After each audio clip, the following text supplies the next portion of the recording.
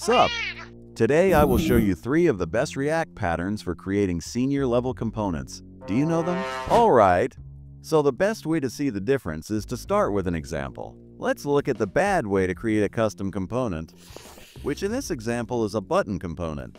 Now this button might work. It takes some props like variant and other props, which at the first glance look like they are from the button component.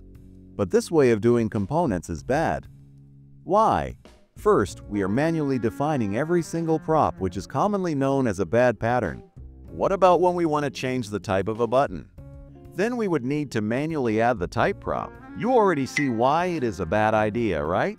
Instead of that, we can use the component props type, which takes the HTML element from which we want to take props.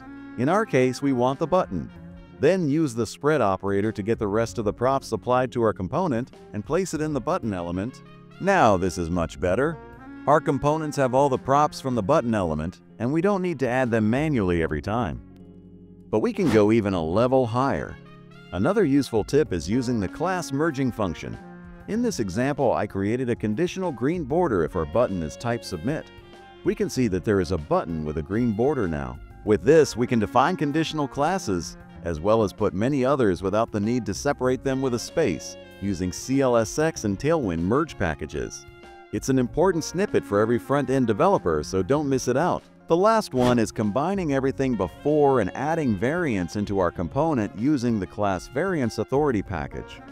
With this, we can easily define our button variants, with default base class names applied and under that, variants for our component. We need to add the variant props type into our component props. To add the variant attribute, then just combine the selected variant and class name using the cn function, and you are good to go. And that's it. I hope that your front-end skills will go even further.